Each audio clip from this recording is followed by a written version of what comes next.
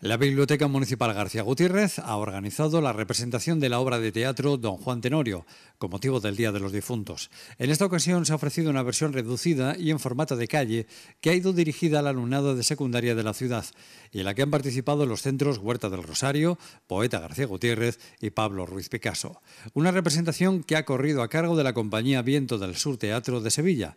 Además, estaba previsto que la representación fuese en el anfiteatro de la Alameda, pero debido a la lluvia se ha representado en el patio de la biblioteca.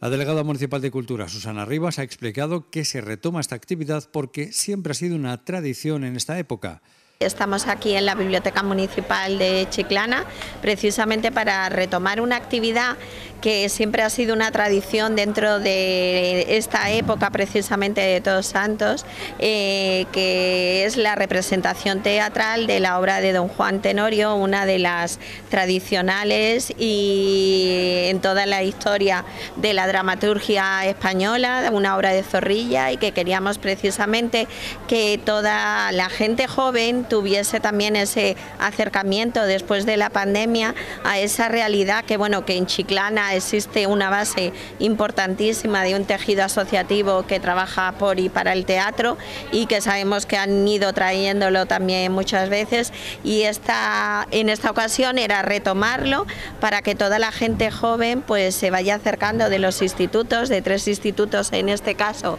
de la ciudad de Chiclana. La representación de Don Juan Tenorio es una de las tradicionales en la dramaturgia española y querían que la gente tuviese ese acercamiento al teatro. En Chiclán existe un tejido asociativo que trabaja por y para el teatro y por eso se quería retomar para que se acerquen a esta obra y al teatro. Ha dicho que se seguirá trabajando para promocionar el conocimiento de las obras teatrales y de los dramaturgos y dramaturgas.